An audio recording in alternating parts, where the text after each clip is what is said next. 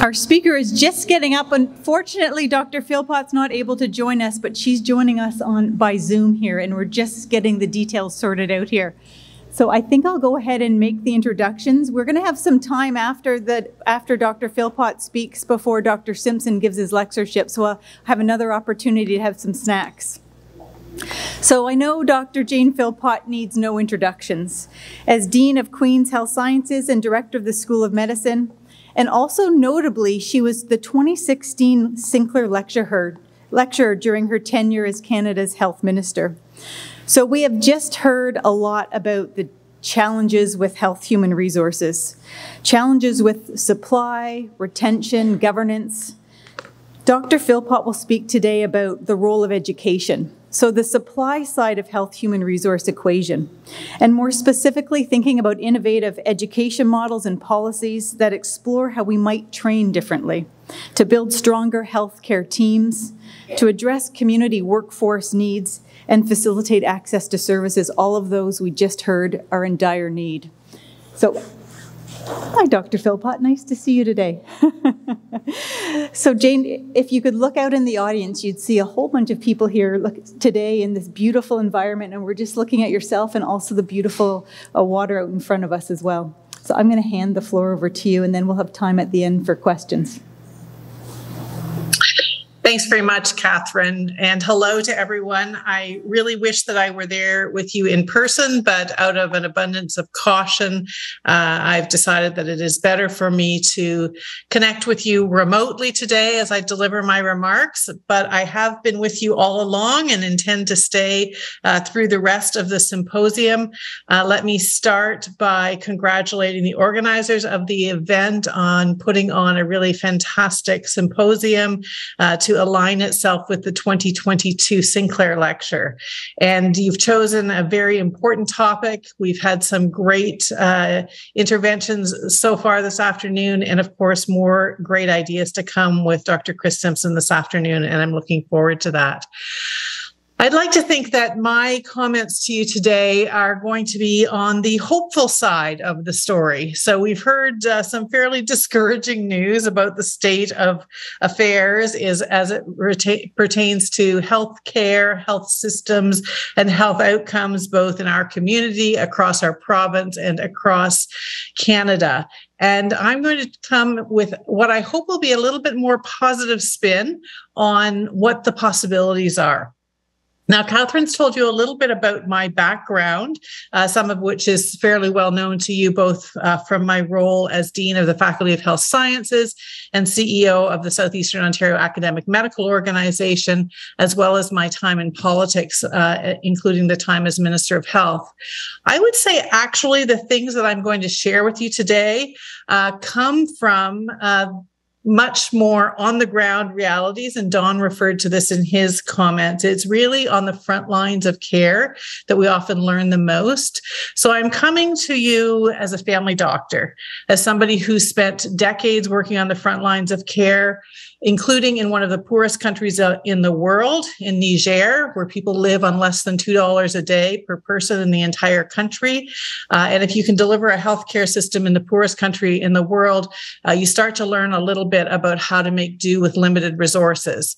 Of course, limited resources are a reality for all of us. We've never experienced such a limitation in our health human resources as we have in recent times, but I absolutely believe that there are great solutions available to us one of the good news stories that I want you to think about is that most of you are connected somehow to Queen's and specifically to Queen's Health Sciences.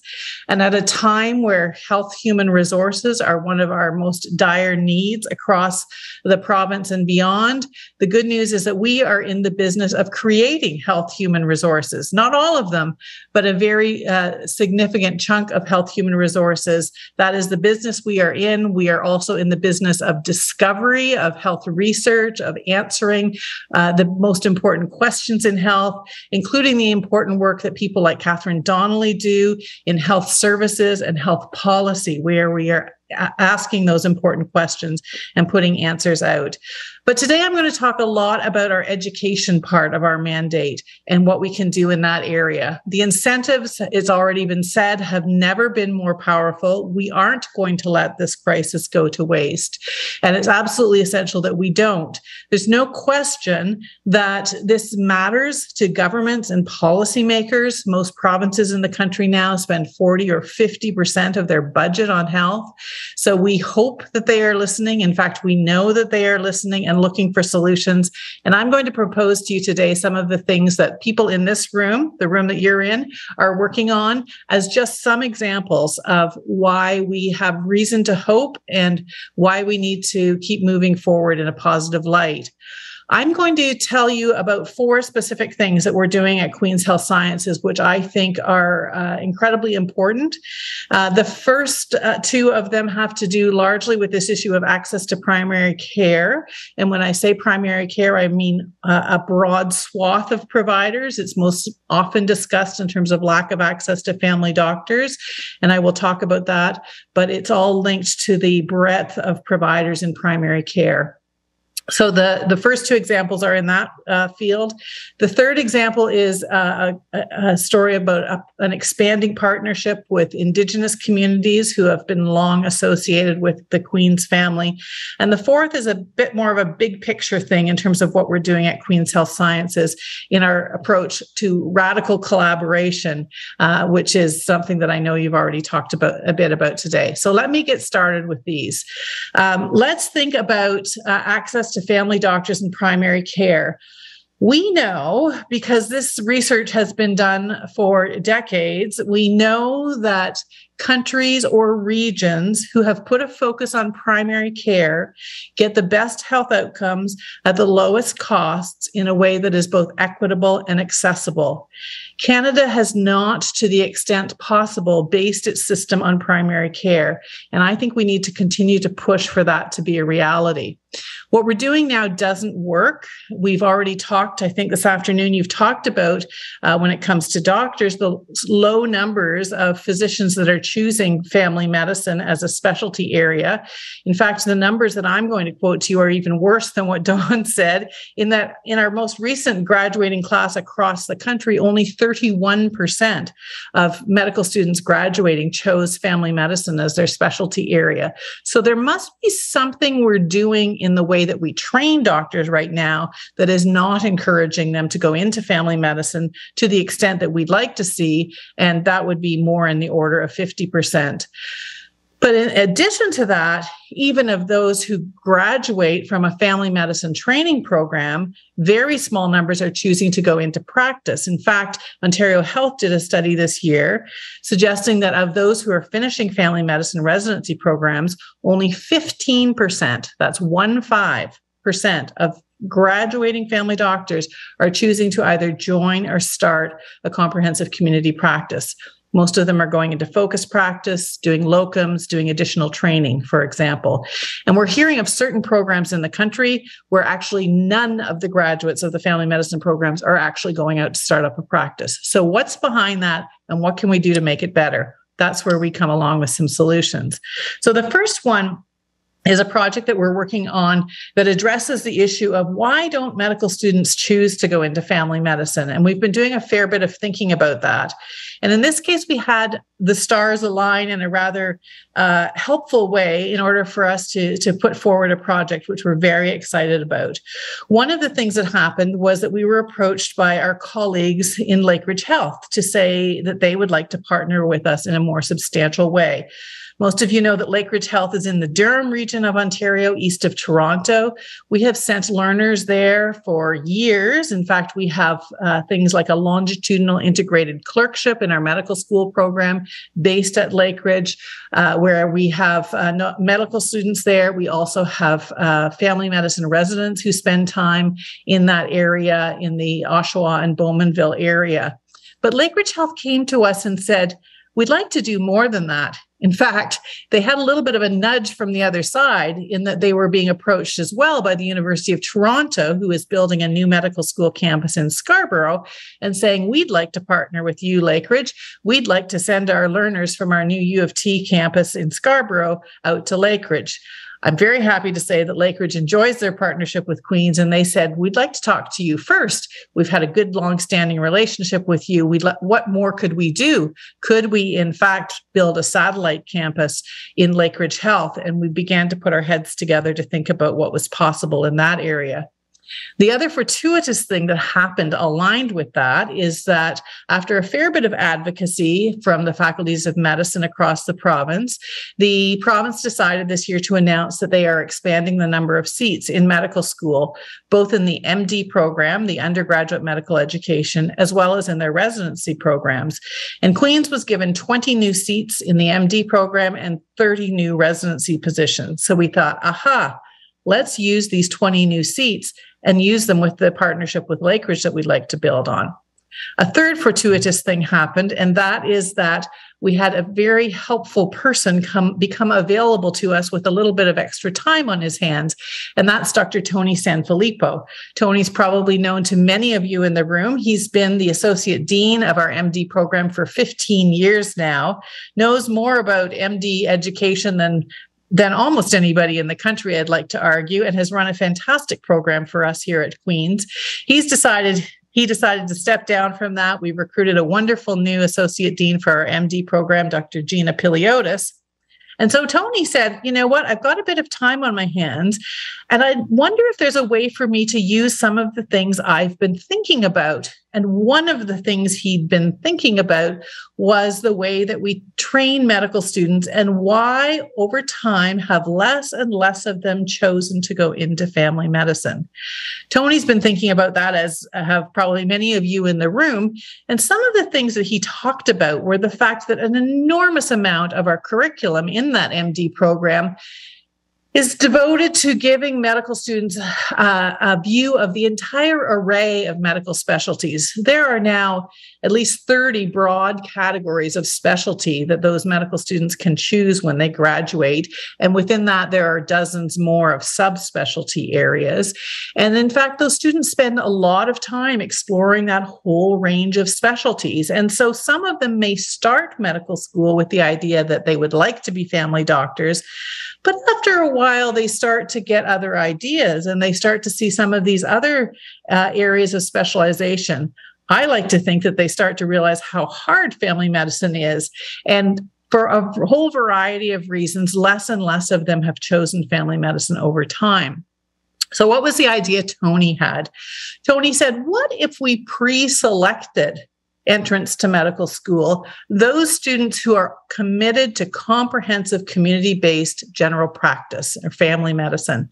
Uh, and what if we put them into a curriculum that was deeply embedded in communities where we showed them the wonderful things that happen in a family medicine career and made sure that they were taught well that whole comprehensive spectrum of skills, knowledge, and attitude that they need to have to become great family doctors?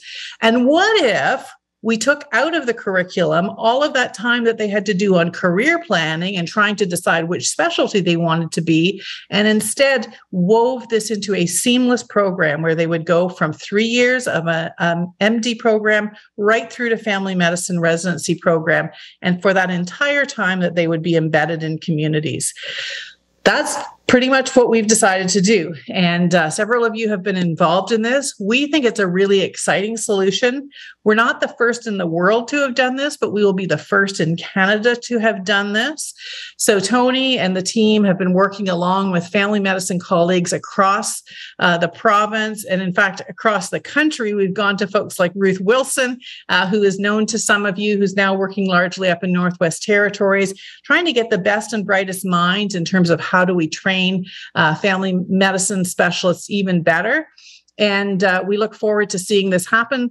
Some of us are going to be involved later in the week in a summit where we are going to be looking at uh, the curriculum approach, a new approach to admissions. How do you actually detect who will be a family doctor who is dedicated to comprehensive practice right from the very start? Uh, what does it look like to truly embed those students in communities who will adopt them and make them feel at home so that hopefully they will stay in those communities? And how do we attract great uh, community preceptors to be able to work with those students. So uh, that is our Lakeridge Health partnership, and I'd be happy to answer some questions about that as we go along. I think it's a really exciting opportunity, and hopefully, uh, will demonstrate that there are new and better ways that we can train uh, family physicians uh, to serve our communities. The second project I want to tell you about uh, is related to the question of why don't family doctors who have been trained as such choose to go into practice after they finish their training program? And there's been a fair bit of work done about this, and there's a range of answers to the question. Some of it is related to the very high administrative burden that you've heard others talk about, where family doctors are spending a lot of time doing things that you don't need to be a doctor to do. Uh, and that leads often to burnout we're also seeing that the lifestyle uh, that uh, residents are seeing is not appealing. There's very little control over the lifestyle. I can tell you that from having been a family doctor myself, but also having lots of friends uh, and family who are in family medicine. Uh, in this time of very difficult challenges, uh, it's hard for people to get away. Um, I have uh, hear of people going on canoe trips and still having to check back on their their medical records of their patients because they simply can't find someone to sign out to. So some of the lifestyle choices are are really challenging. But the other part of the primary care system that we've been really trying to look at here is how do we build a primary care uh, climate that actually addresses population health. And here I want to get back to some of the ideas that uh, uh, Duncan and Dawn and Joan talked about earlier. Um, and there really are some solutions for how we can do better on primary care in order to make sure that population health and access to care are priorities. This project is called the Periwinkle Health Home. So it might be the first time you've ever heard of this, and you'll say, "What on earth is she talking about?"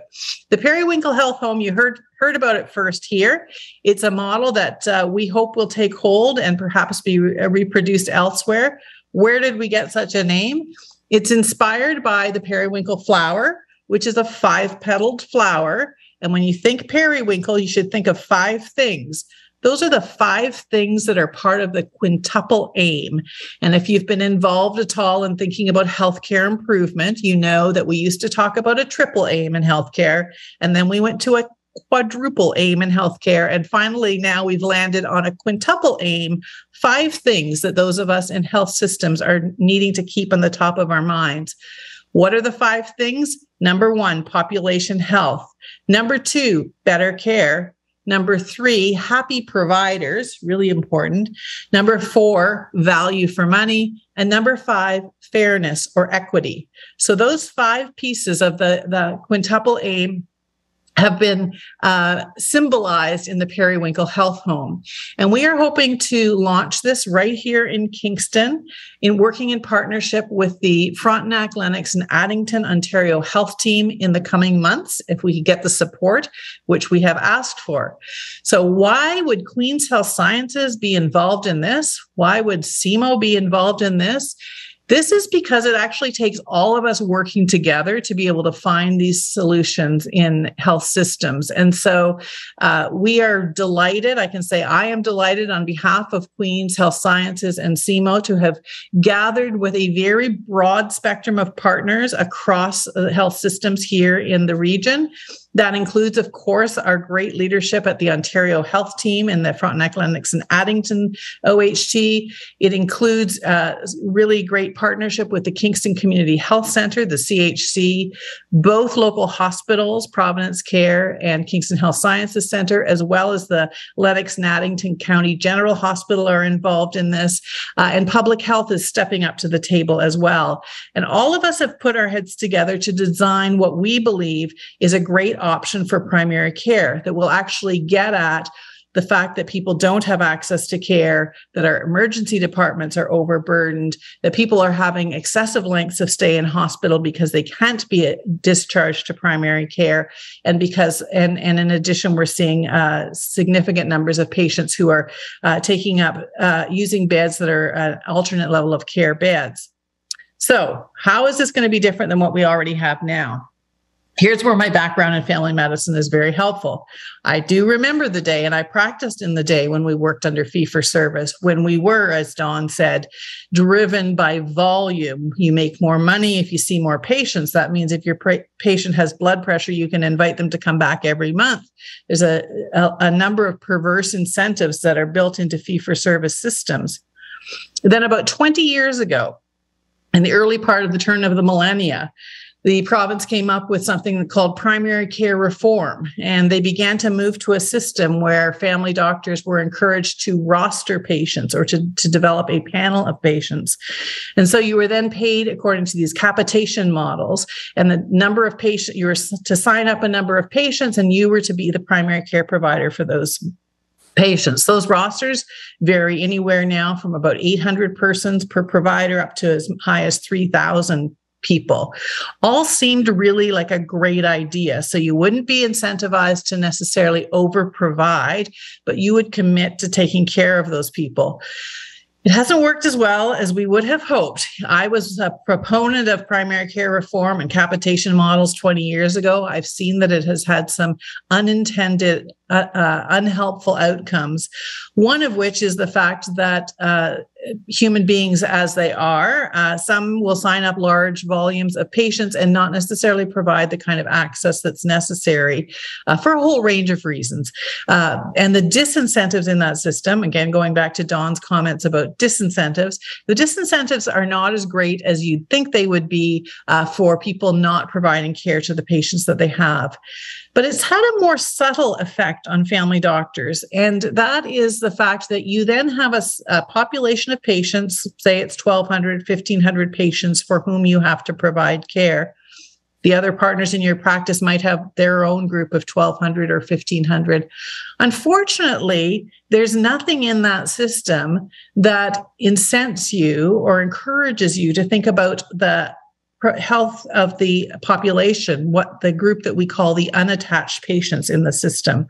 And so over time, very large numbers of unattached patients have uh, have grown, and as has been said, now we have large numbers of people in the province and across the country who don't have access to a primary care provider. Um, and uh, we believe that there there's work to be done in that area. We know that in the Kingston area, we have about twenty thousand people who don't have access to primary care. It's a little bit higher than the pr- provincial average, and it does have a knock on effect in the rest of the health system. So, what are we going to do in the Periwinkle Health Home? We're going to take the best of all the models that are out there. And one of the interesting things uh, about some of these models is that those like the community health center are based on a salary. So that doctors are paid for the amount of time they work and that they often have better access to administrative supports and to an interdisciplinary team. And so we are proposing that the periwinkle health home uh, which we hope will be open um, not too far away from where you all are now the current proposed site is uh, at the same site where the field hospital uh, was going to be that was never used on union street Street, that this would be a facility that would be open seven days a week, 12 hours a day, where doctors would work. But here's where it gets really good. You don't need just family doctors to run a primary care system. You need the entire scope of practitioners. And we know that we have had, for example, nurse practitioner led clinics, which have been extremely successful, but have not linked uh, with family medicine led clinics. At the Periwinkle Health Home, everybody is a part of the team. Uh, everybody is an equally important player, from the family doctor to the nurse practitioner to the registered nurse to the social worker, the dietitian, uh, the occupational therapist, and the whole team. Uh, because as you've already heard from others, uh, we need to make sure that everybody is working to their full scope and that we share tasks across the team and the person a, a, patient or a person is seen by the most uh, appropriate provider at the appropriate time so uh, one of the now, you might say, well, isn't that just a walk in clinic? Um, it's not just a walk in clinic. This is a permanent health home for these patients, uh, for the 10,000 patients that it will, it will uh, provide care to to start up. Uh, and they will be seen by uh, whichever provider is the right person for them at the time that they show up in the clinic. Um, we're excited about uh, how this might be able to provide a solution. And uh, you might say, well, where are you going to get the family doctors? Because they simply don't exist. We think that some of those new graduates who don't want to join a practice because they don't want to be on call 52 weeks of the year, 365 days of the year, and would like to be able to sign out periodically um, will be attracted to a model like this. That's certainly what they've said in some of the studies and research that's been done very recently. The other group we're really hoping to attract back into the system is a huge number of providers, and these may be nurse practitioners, they may be family doctors who have recently retired. We know family doctors often retire early than, earlier than the average retirement age for a number of reasons, but one of them is because they do have these very large rosters. They can't necessarily take a week or two or four off in a certain time of the year to be able to get away. And if we can offer a system where they can work a certain number of weeks per year or a certain number of days per week, um, we believe that they will be much more attracted to that. So stay tuned uh, to news about the uh, this very exciting proposal for an integrated access to universal interdisciplinary primary care. Okay, I'm going to pause in a few minutes to give you time to give me feedback and questions, but I want to tell you about two other things that we're working on. The third one uh, is the uh, project that we have developed around uh, working with partners in Weeneebayko area.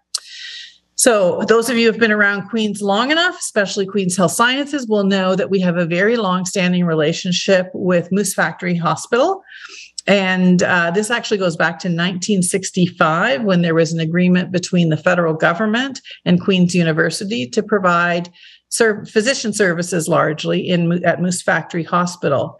That relationship has uh, developed, expanded, flourished, built trust so that there has been a partnership between both Queens and the Kingston region in general and Moose Factory plus all of the communities along the James Bay coast. It includes communities like Attawapiskat, Kashechewan, Fort Albany, Peawanuck.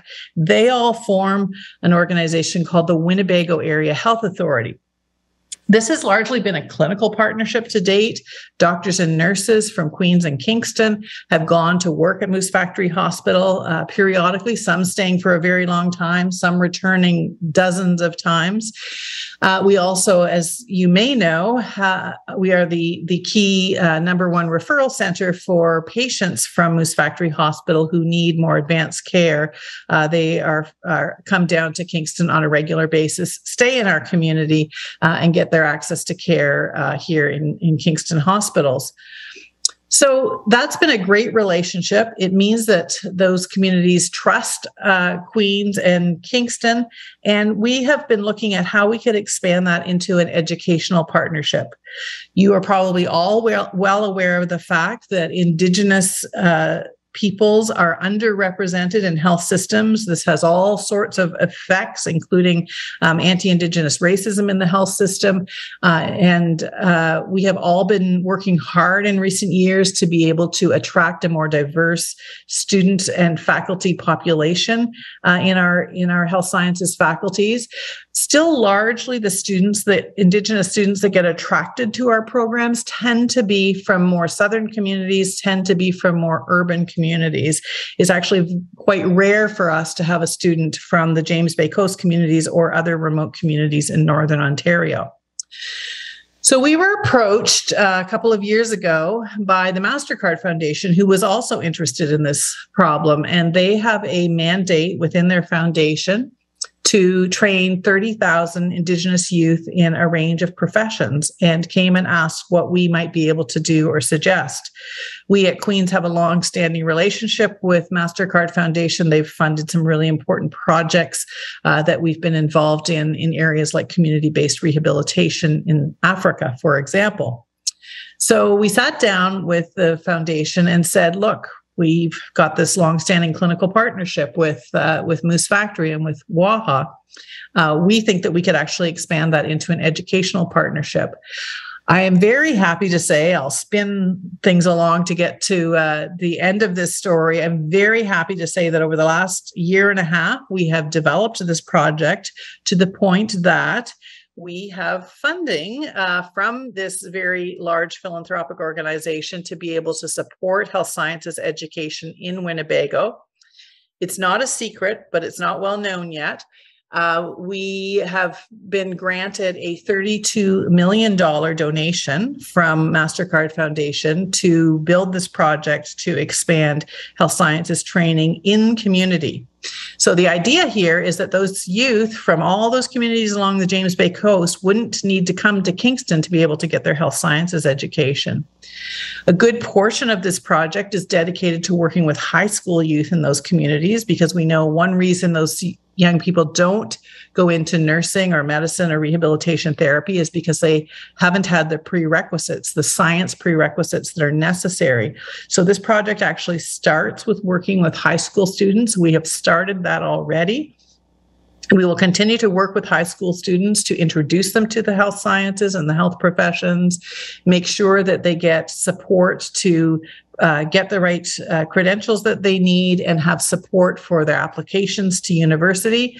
And then we hope potentially as early as 2024 to be delivering curriculum, which is not exactly the same as our curriculum. It will be an Indigenous informed curriculum informed by the, the Council of Advisors that will be working in the Weeneebayko area. But we should be able to be delivering both the Bachelor of Health Sciences and the Bachelor of Nursing Sciences uh, in that community in uh, hopefully hopefully within a couple of years. Lots of work to do between now and then, and someday be able to deliver other programs, including medicine, OT, PT, and potentially others such as midwifery.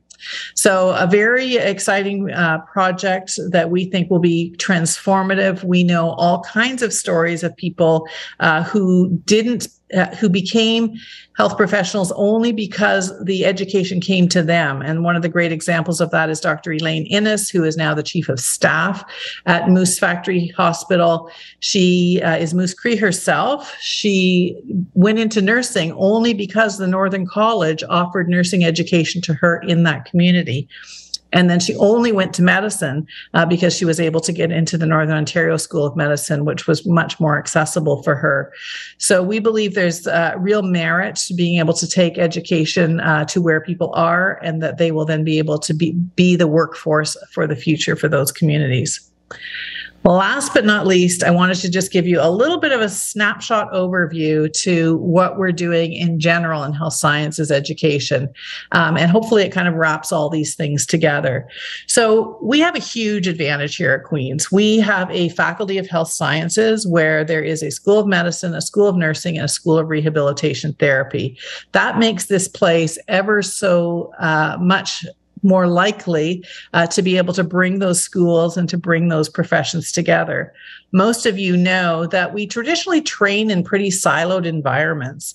Uh, people come into their particular school and they uh, they hang out with the people that are in their school. They don't really take courses with people in other schools, and they don't really get to know uh, the people from those other professions until they uh, meet them on the wards, and then suddenly are expected to work with people. And by that time, they're afraid to say that they don't actually understand what each other does.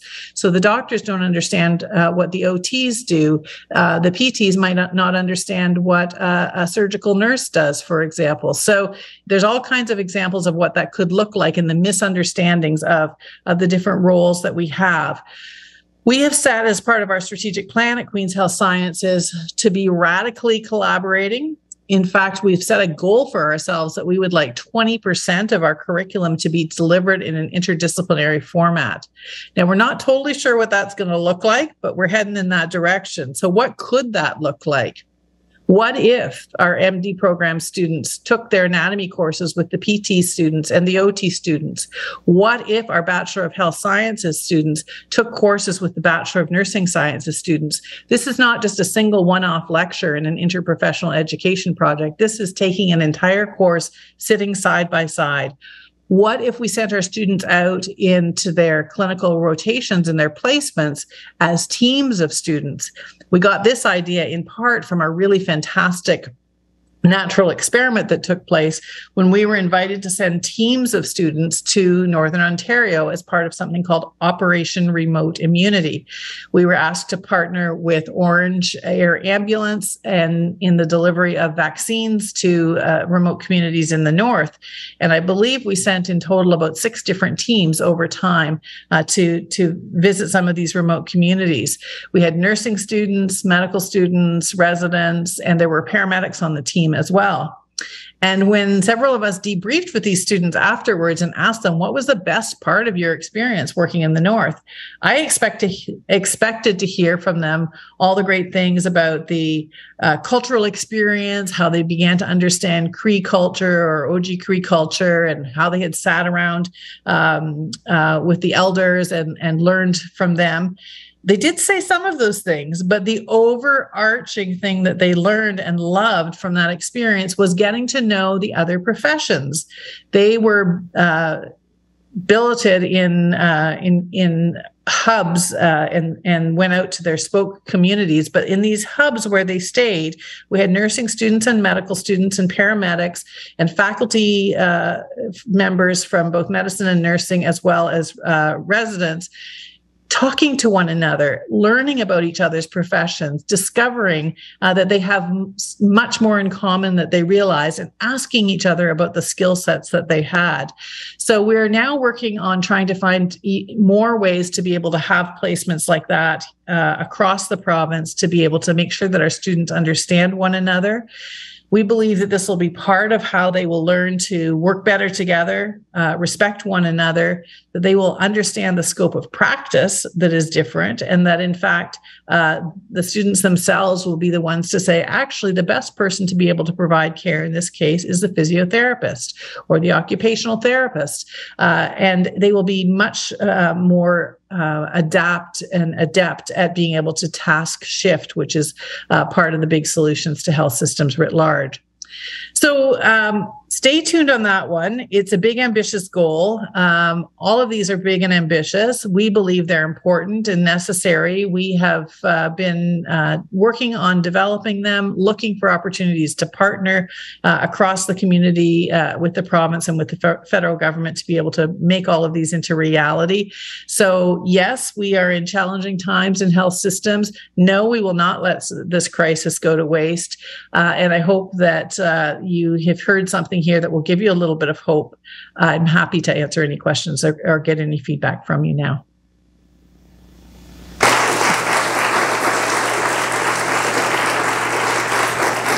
Thanks very much, Jane. And now I'm also navigating online questions and face to face questions, so I'm just going to. check.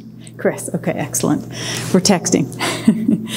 what really strikes me from the conversation in the panel, and Jane, what you brought up, what resonates with me is this path forward, but a focus on communities. So Duncan proposed as sort of what we need to think about is community needs, systems that address these community needs. And what I hear from you, Jane, strongly is this idea of education within communities and really thinking about education for the system that we need, which we don't really think about often as educators so much. We're usually sitting here thinking about curriculum development, curriculum alignment, and really don't think of HH are and, and system level planning within our curriculum. So I'm, we may have a question, but I'm going to get you to, if you don't mind, reflect on that as well. You know, you've talked about your role as dean from a systems planning perspective. You know, what would you talk and tell other educators? You know, maybe not just at Queens, but abroad. Like, what's our role as educators from a health systems and policy perspective? Well, those are great questions, Catherine. I think the one piece that I'll pick up on is your comments about community and how rarely uh, uh, we ask the community what they need and what they want. I think we're getting better at that. We know that, for example, most health organizations now have patient and family advisors in, in their uh, in their uh, bo- on their boards or in their advisory councils, but we don't necessarily look to the community to find out what the community wants. And I think that there's real merit in being able to do that, to say what would be helpful to you. That's one of the things we are actually doing uh, now with the Lakeridge Project is reaching out to uh, councils, to uh, community organizations to say, what would you like your health system to look like? Um, how would you like to partner with us to be able to make this uh, possible? And I think, as you say, just give, giving that lens to those of us who are educators to be able to, to go and ask those questions uh, as to what people expect. A little bit of that comes from the move towards value based care and I know, Catherine, you're very interested in this as well. Um, we need to have much stronger metrics for what people expect. Uh, I'm really interested in these concepts like patient reported outcome metrics and patient reported experience metrics.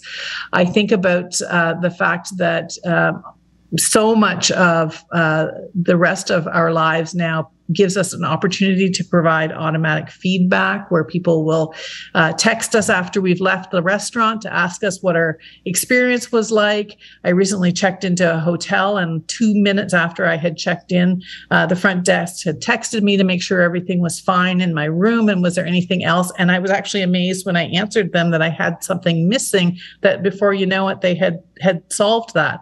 Why don't we do things like that in healthcare? Imagine if we were that much more responsive. And as you left your at your uh, primary care clinic, you got a message asking what your experience is like and what could we have done better. So I think the more that we we use those um, methodologies. I think we've been afraid to ask the question because we've been afraid of what the answer is.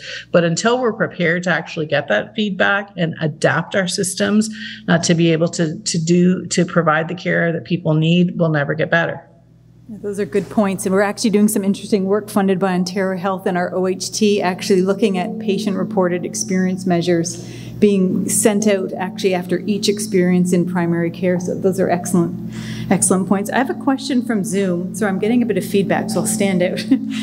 um, the question again is related to feedback, Jane. It says, have we asked the students themselves why they aren't choosing family medicine? And for those that graduate from family medicine residencies, why don't they establish practice in health teams or independent practice after they've trained to be family doctors? They likely hold many answers. And I know that some of the literature has said this to us, but what are your thoughts on that? There has been a, a, quite a lot of work uh, done in that, and the um, Canadian College of uh, the College of Family Physicians of Canada has specifically uh, looked at that. Um, they've given answers along the lines of things that I've talked about. The administrative burden, and particularly filling out forms uh, is one of the answers they they you know they uh, the data now shows that for for family doctors, every hour that you spend in clinical practice, you can expect to spend at least a half an hour, if not another full hour, in doing paperwork after you've finished. Uh, and when you know when you finish your clinic at at four or five o'clock, and you're still sitting there at nine or ten o'clock doing your paperwork, it gets pretty discouraging. So those are all the kinds of things that we need to provide some solutions for. We think that there are solutions out there. There's some really interesting work being done with the use of scribes, and even with the use of uh, AI to be able to try to um, do some of the work of filling out forms. Uh, there's some interesting projects in that area. Um, so you're absolutely right. Though the students themselves will tell you exactly why they have not chosen to go into those areas. They do not hold back. okay, I've got another question um, from the Zoom, and if anyone else has a question, by all means, um, go up to the mic.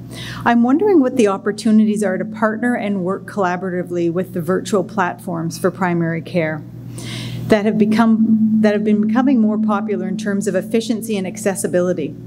Are these options discussed as part of the curriculum or at the problem solving level as current as potential innovative current and future opportunities? So there's sort of two parts there.